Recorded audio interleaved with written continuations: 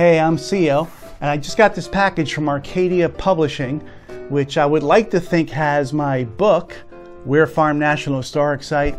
Uh, it features my photographs, and I wrote about the history of the park. Uh, but judging by the size, I don't think it's uh, a package of my books.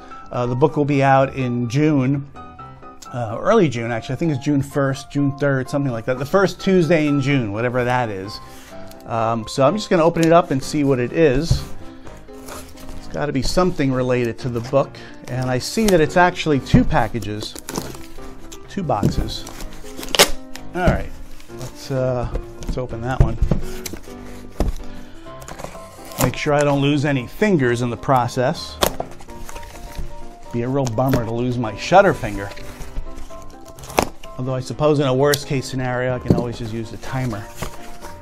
Oh, okay. I see what it is. It's uh, they sent me wood. what this is actually is a uh, it's a two-tier display case, and it will hold about 35 books. And the idea is that I assemble it. See, you can you can see all the little markings for it, so you can kind of put it together like uh, almost like Lego. And the idea is that when I do book signings or talks and things of that nature, I'll have a little display with the books and then people can purchase them. So I'm going to put this together. I'll show you what it looks like. And hopefully the next package they sent me will be the book.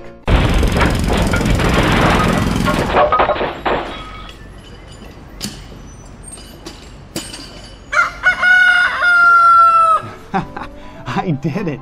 I can't believe I put it together. I'm usually really terrible with this kind of thing but uh, it still needs books.